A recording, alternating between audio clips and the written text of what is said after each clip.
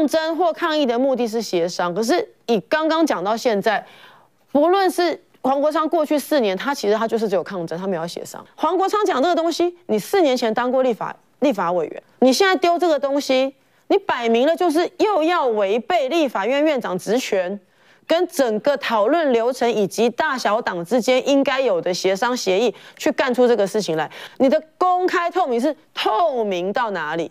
跟谁公开？你的主持、动词、对象、方式，通通都没有，你就叫我承诺你？嗯，这个叫签空白支票。嗯，在二零一六到二零二零年的时候，黄国昌在立法院就是不断的要求行政单位跟其他立法院同仁签空白支票。就我们去设一个民主制度应该有的门槛，被他讲成你违反民主，你违反人民的权利，你根本就是没有在尊重人民。我觉得这个玩法不要再玩了，这一届再玩下去真的是是呃未来的国会，虽然你跟静怡委员都都不会在新国会里头，可是呢，现在的呃国会立院龙头到底是？花落谁家？哦，金马币这民众党在主导哦，哈，黄国昌的一定新话讲哦，你要有条件配合我们这些相关的条件之后，再来谈说我们要不要支持谁？那这件事情呢，大概的开西哦，什么什么各种组合啦。可是我觉得有一件事情很重要的是，民众党几席？八席，八席，对八席现在做到比五十席还大哎，立法院就是这样啊，你这要被绑架吗？你觉得要被绑架吗？呃，我觉得当然是呃，民进党必须要有自己主导这整个议事过程跟节奏，包括国会改革在内的一个这个主导性了哈，不能绝对不能再像这个现在黄国昌怎么讲，然后就他出考卷，然后你就写了，这非常奇怪。我们当然不是说几席就表示说八席就不要就要忽视他的声音，可是八席出考。考卷给五十几席的的党来去写，这然后我已经帮他写好了，他不是列了四题吗？都好四题我就说好哦两个字。啊，所以我就我就只是我啊我要回答就是说，其实，在国会里面，我们我跟静莹在里面那么久哈。我们每一个议题要说服都是要花很多时间。其实不管从呃之前婚姻平权，还是甚至于国会改革，像我这一届在立法院里面担任开放国会委员会的召集人，每一项国会改革开放透明，包括这个呃怎么样去让。人民更能够监督立委，我们所有的这些资料要怎么样让人民可可以？我现在讲一个最简单的啦，以前旧的资料都是放在立法院的图书馆啦，你想要看的话，哈，旧的委员的资料，他的问政资料，你去看纸本。嗯，对。我们怎么样让它全部全部变成数位化？大家可以上网去查，这个花多少时间去讨论？你知道吗？一年。嗯。花一年的时间找民间专家，找四个党的代表都进来，然后一起讨论说怎么样弄。然后有一些党也会有不同意见呐。那你为什么不同意见？这是花多少时间？我现在要讲的是每个议题，因为国会就跟社会一样，我们是一个民主社会，所以我们在国会里面一样，一百一十三席，你要有五十七席的人都同都挺你啦。讲完回来的意思是什么？你二月一号就要选立法院长。你现在丢出来说，哦，第一会期就修法，承诺要修法建立开国会听证调查，承诺第一会期修法强化人事同意权调查。我请问你，你你有开始游说委员了吗？还是你要立要要民进党在这一些新任委员都还没进去的时候，以民进党的党来告诉你说，我就答应你了，我不管我的委员怎么讲，我也都不用沟通。黄国昌，你里面的委员，我要告诉各位民众党里面当过、现在正在当黄国昌新的同事的委员们，他有跟你讨论吗？现在提出来这些是他自己提出一个版本，叫你们大家有没有意见？有，各位是有版本吗？有他就讲，他也没版本，他四个东西嘛，他四个东西很笼统。我要问一下大家哦，你要公布相关经费，什么叫做相关经费？我们都我们都当过第九届，你不是不知道就是这种个性我要问，我要问你，因为我跟慈庸我们都有类似的经验，到底是黄国昌拿出一个东西，然后请你请其他七位委员哈，看你有没有意见，谁会有意见？你讲这么笼统的东西，谁有意见？啊，我们提出这些来当成二月一号，就是两个礼拜以后。做这个政治攻防的一个工具好不好？他们怎么去想？他们都还来不及。我们现在才刚 on board。如果你真心要推国会听证调查、人事同意权调查，你是不是这八席立委先要经过一段辩论，自己内部先辩论，我们觉得什么事情最重要，以及这到底是不是作为国会议长最重要的事情？内部有没有经过这样？我就问各位啦，有没有一个你要提出这么重要的一件事情，具体的内容是什么？嗯，你们。内先不要讲，你有没有游说其他党的委员？你们内部成出现这个共识的过程是什么啦？我有经验啦，就是黄国昌拿出来啦。问你们别人有没有意见？别人都觉得这个赞，民进党一定很难回哦，啊，国民党也很难回哇。然后接着的话，看他们怎么回，我们再来决定哦。我们就是立法院里面最高上有先回的了，最高道德没有。我的意思就是说，所以哎，民众党就是国会里面最高道德，因为我们提出来这个，大家哈都回的一个很笼统嘛，我们在只能说好哦，安利。你看我们是不是最厉害？我要告诉大家啦，我要再告诉大家一次，我在立法院这八年。得到的一个很大很重要的一个学习过程，就是民主社会，我们是要取得人家认同，不是要辩论到人家认输。我们在我们的选区里面，拜托我们的选民支持我们，我们不会去要把我们的选民变到他输，我们是要争取他的认同。到国会里面是一样的意思，国会里面就是一个小的社会，你是要争取五十七席的委员认同，而不是说我道德比你高，我出考卷给你，你对我错，我对你错。这样子来辩论以后，然后因为大家都被你辩到，大家不爱跟你恭维啊，哎，没关系，大家都大家都是道德比我低，所以我道德最高。我至少因为太多事情，我挨家挨户，从中心大楼地下室拜托到十一楼，在婚姻平权的那个时候，多少人进怡巧会，大家是这样弄的，而不是开记者会骂说，哎，你说我不承认我什么东西的话，你就是背弃理想。不是这样的，我们在 我们在选区会这样对选民吗？你在选区争取选民的承诺支持的时候，你会用说，哎，你不支持我，林长佐。他在戏子不是这样对选民？哦，你说骂选民哦，我是不知道，你不能说你在一般的民主社会里面是一个态度，到一个民主国会里面，你变成用用要求别人认输，而不是要求别人认同的。我们今天一个民主要多数过去，就是要争取认同。所以，我现在在重看这一个过程，我真的好像回到八年前。然后，我要提醒所有现在跟他在同一艘船的朋友们，好，上面像陈昭之，其实过去在北社的时候，真的是一个蛮敬重的一个前辈。我真的是要，你要，我真的想问一下了哈，这个、这个、这个共识的过程，提出来的一个过程，这个流程跟你平常在北社讨论事情一样吗？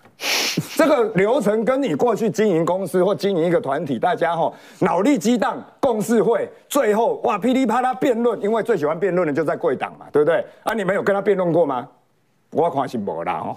啊，所以如果没有经历过一个噼里啪啦说好，我们民众党的八席的共识就是这样，而是一个其实你平常在其他组织不常见到的一个流程，那我真的要提醒大家。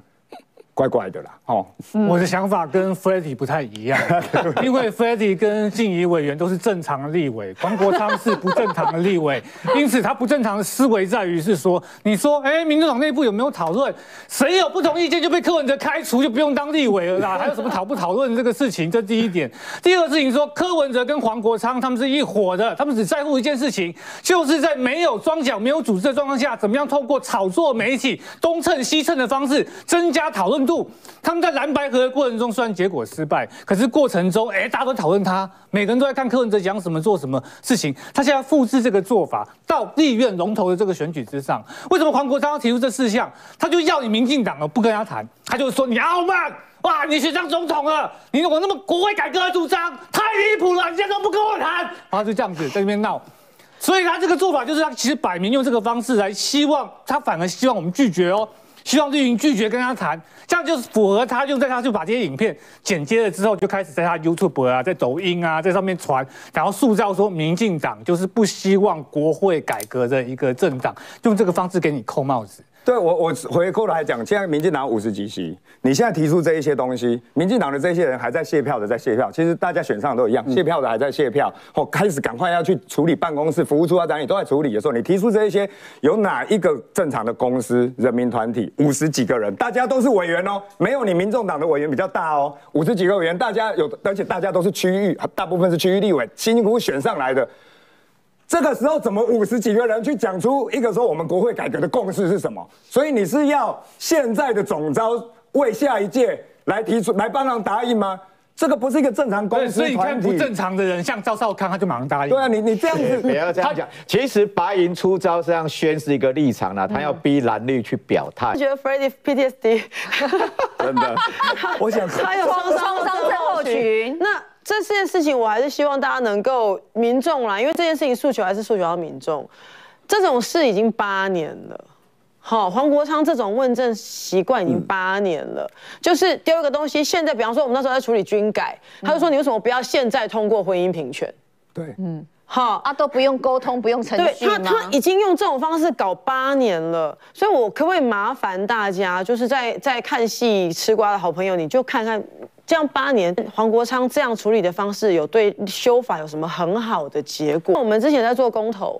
公投议题的时候，我就一直就觉得说，即使你前面有那么多的流程，其实公投还是一个非常迫不得已不要做的事情。为什么？因为你今天到投票的时候看到一个你是否同意什么什么什么，哎，这一张题目的背后，你可能要花二十分钟先了解某一个背景，嗯，再花十分钟了解某一个背景，再花二十分钟了解如果我投是会有什么结果，我投不是或什么结果，这么细致的一个东西，不是给你一张纸说你要或不要。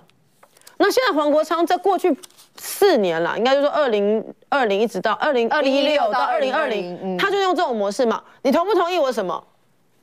哦，你如果不同意，你就是道德很烂，你就是不改革，你就是退，你就是退退后，你就是落后。嗯，他整整四年都干这种事。其实我一直在强调，八年以来，我们都要让民众了解，抗争或抗议的目的是协商。可是以刚刚讲到现在，不论是黄国昌过去四年，他其实他就是只有抗争，他没有协商。嗯，那现在在第二，就是说国会龙头出来之前，国会龙头的角色在哪里？说实在的，你有看过立法院院长参与表决吗？没有啊。你有看过立法院院长在委员会提案吗？也没有。哎，没有院长可以没有，他怎么承诺这个？立法院院长跟副院长就是。没有在委员会提案跟表决，他连质询都没有质询中立的第三，呃，他是一个中立第三方，甚至他要对外，他都不能，他都他在整个处理上面都要完全就是很公平的嘛，这是第一个事情。第二个事情，立法院院长职权是什么？召开会议，召开协商，好，然后有重大议案的时候，他必须要代表立法院，比方说有时候中国对我们进行一些文攻武吓，立法院院长要代表立法院去表示抗议，嗯。因为国会嘛，人民最高的层级嘛，国其他国家的国会议员或政府官员来的时候跟他见面，表达台湾人民的最高民意机关的立场是什么？这是立法院院长职权。嗯，你要改革没有错，院长可以说啊，院长可以说我主张这个啊。我说一句实在话，游锡坤院长有没有非常主张我们立法院要南要要迁到台中？他们说立法院要扩建，有啊，有。嗯，游锡堃院长有没有要求？希望能够他自己又是这个，我讲没记错，他是正常台湾，好，希望能够重新立宪。我就问一件事情，院长这么说，我们全部都要听他的吗？没有。院长不是我们的班长，说，哎，我叫你这样子，全部人跟我这样走，哎。所以院长今天，你今天即使我们的民进党这边，就像我我扣回 Pretty 刚刚的逻辑，请大家搞清楚，我们。在立法院里面，比方说我们跟，比方说跟陈玉珍委员可能立场不一样，我要不要尊重他？要，要啊，因为他代表金门，嗯，就这么简单。你没有那种说，我不管，你们大佬不是这样讲的，没有这种事。我们自己甚至民进党内部不同委员之间不同，我我必须承认，过去有有会有民众跟我反映说，哎，你就跟你们党的谁谁谁讲，不要怎样怎样。我说你要你继续跟他讲，嗯，因为你们是他的选民，你们是他的民众，你们可以跟他讲，我没有权利去跟我的同事说，哎，你那个什么东西不好。我们今天没有权利去管别人的提案，指正别人的提案。所以你今天黄国昌讲这个东西，你四年前当过立法立法委员，你不是不知道立法院院长的职权是什么。你现在丢这个东西，你摆明了就是又要违背立法院院长职权。跟整个讨论流程以及大小党之间应该有的协商协议，去干出这个事情来。接下来立法院院长他第一个最重要的任务，就是二月一号当选之后召开谈话会跟协商，协商各政党我们什么时候开始开会？嗯，这是他第一个最重要的任务。他可以，我我就像刚刚这个一传大哥讲的，他可以讲好啊，嗯，好，为什么好哦？很好。为什么你都可以做这种同意？提案你不是他提啊？因为提案不是你提啊，而且我们在学科学人来讲，操作定义都没有出来啊。对，你的操作定义没有出来啊，你的公开透明是透明到哪里？跟谁公开？你的主词、动词、对象、方式，通通都没有，你就叫我承诺你？嗯，这个叫签空白支票。嗯。在二零一六到二零二零年的时候，黄国昌在立法院就是不断的要求行政单位跟其他立法院同仁签空白支票。你签这个空白支票才代表我爱你，签这个空白支票才代表你愿意改革。我们已经这种空白支票，你开了那么多次之后，请问一下，在二零一六到二零二零，黄国昌先生要求的空白支票，后来对台湾造成什么影响？哎，不要忘记，我的那一届，我为什么会来补选？陈柏伟怎么被罢免的？罢免完之后，每个人门槛下修，每个人都讲说，你们那样不合理呀，那个门槛不对呀，你那个你那个区域这样搞，每一个人都会被罢掉，根本对民主宪政是。倒退的，嗯，我们摸着鼻子走，说当初我们在修法，在修公投法，嗯，在修这一个罢免法的时候，黄国昌很大声啊，弗你最清楚啊，当时你的前一个政党啊，就躲虾呀，哦，你们要是怎么样的话，就是违背民主。那个时候对于公投，后来我不知道大家记不记得，在上一届尾巴跟这一届，还曾经有人叫做一个叫心跳公投，他去公投怀孕几周之后就完全不能做人工流产，把所有的这个。人那个民间团体跟很多的性别团体全部吓死。嗯，哎，如果照原先黄国昌先生的那个公投提案的话，这种公投你得让他过，让大家来投票哦。嗯，你中选会不能说不哦。回过头来以罢免法，如果当初以黄国昌先生的那个版本的话，他的说法叫做你不用设门槛，两票赞成一票反对，这个人就被罢免了。嗯，他是这样做的耶。啊当时用这种东西，我们去设一个民主制度应该有的门槛，被他讲成你违反民主，你违反人民的权利，你根本就是没有在尊重人民。我觉得这个玩法不要再玩了，这一届再玩下去真的是。我觉得接下来立法院不能再这种玩法，你给他道德呼吁是没有用的，没有用。对付黄国昌这种人，就要像易川讲的会好哦。他有意见要讨论细节，就派王，就派王易川直接去当国会改革的召集人，去跟个黄国昌开八小时直播辩论。他敢不敢嘛？嗯，那他开下去之后，黄国昌的粉丝一追就会跑到一川这边来啊。他要炒声量，用这招跟他玩啊。我们现在很严肃的在讨论政治问题，说这些事情你要有细节出来啊，你要慢慢协商啊，干嘛？黄国昌就只知道炒声量，他没有要跟你走传统政治这一套。所以说，民进党的思考一定要去灵活，不然你在舆论上面他就绑死了他青年票这个部分，然后就拿这个新加坡继续来勒索你。这样子的话，其实所有的施政都会变得很大。不是因为哈，两位委。委员，你你是有共识，而且是非常亲密的共识的经验。那这个是交锋过，我也共事过，办公室在他隔壁啊，有有非常多交锋的经验。所以如果他说不定 PDS 的 v 还讲，他应该有很多回音跟震撼哦。你们你们两个都很有资格，因为你们要列出来过去交手的经验哈。黑金这行不应该来对我我我真的很想再补充一件事，就是大家很喜欢看我在婚姻平权的时候，在台上哈这个慷慨激昂的骂人，骂国民党说你们票要投出来那一段影片，我要告诉大家。在那之前，我跟很多位民进党的委员，大家分工合作的去游说。游说的过程里面，不是只去游说民进党可能跑票的委员哦。我因为去游说这些民进党委员，我就被黄国昌他们讲说我小绿哇，林长佐就是小绿啦，阿诺啦，这个帮民进党跑腿。那他现在我去拜托赖世宝，我去拜托高金素梅这一些国民党的蓝营的委员，不管我再怎么不同意他，我一个一个敲门进去拜托呢。我可能前上个礼拜因为另外一个议题才骂赖世宝呢，然后这一次这一届我们婚姻平权的收养终于完成了的时候，我前一天一直在拜托谢依凤，因为他是党团干部，我希望他不要在协商的过程把这个案拿出来，把它丢，把它搁置，所以我一直拜托他，即便我是支持吴英玲，即便我不认同他，但是当有一个议题来，我要去跟他低头，但我没有东西要跟你换。哦，我不是我拿了一个东西来跟你交换，你不要把协商这种东西都看成说，哎，林场主要去拿谢依凤什么利益？没有，我就传讯息给他，打电话给他拜托，我说这一题是不是政治敏感？不是那一种，就是为了小朋友家庭他们的幸福，那希望这个不要掉掉进去。我要讲的是。所有的大家看一个影片，我就我现在是对那些在看网络的这些网友讲话。你看林长佐那一段慷慨激昂影片转传好爽，前面有多少花了一年的功夫，大家要去面对自己也不想面对的那一些人，还是要去拜托他啊？这个才是这个，我也可以直接丢出来说，国民党，你如果不支持这个这个诶收养的话，你就是呃置儿少的权益于不顾。道德沦丧，扣一个帽子，扣一个帽子，直接骂国民党，然后这边在骂民进党。你说我不支持的话，就怎么样怎么样。然后两边都想说，哎，你给他连长左，你是丢搞哦，你是美杀。奇怪，你们不会看点微信来供起来啊？我都还不知道你在讲什么。然后他就被整个，他这种时候就会被整个社会氛围吵得乱七八糟。然后两边的两边的人，然后两对立呀，两边的直接对立，对立完之后，你直接在立法院没有人敢出来表决，这个案子死掉。我觉得你们陷入很认真的是在那四点的 内容怎么怎么执行，他没有在跟你玩这个啦。他那四点是要干什么？情绪勒索啊，道德勒索啊。不是，他那个其实就是在做一个政治的操作嘛。好，除了炒声量之外，他也是在想啊，那是不是真的有人会上当，要真的要来跟我换什么东西，对不对？那一川哥哈，换什么东西？呃，赵少康他就讲啦，他说那是不合作微微哈没有意义啦，所以呢，就是副院长给他啦，然后呢，招委哈多给他们几席啦，这是赵少康的意见啊。赵少康他是什么角色？他是主党主席吗？哎，党团的总召吗？政论节目主持人跟对啊一样。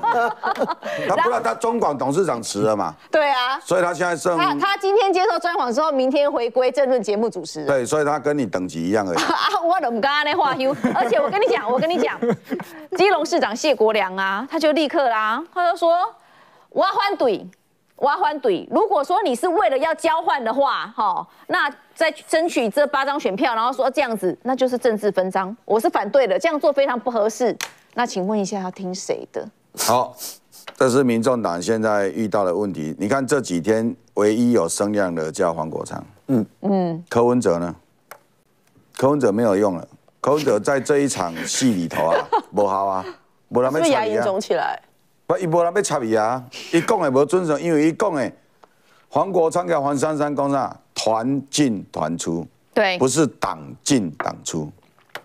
即顶下阿扁啊，咧叫要招唐飞做行政院长的时阵，国民党当时提的就是说政党对政党，可是他是讲团进团出的，我们八个决定的，这他们八个人的决定，柯文哲知道吗？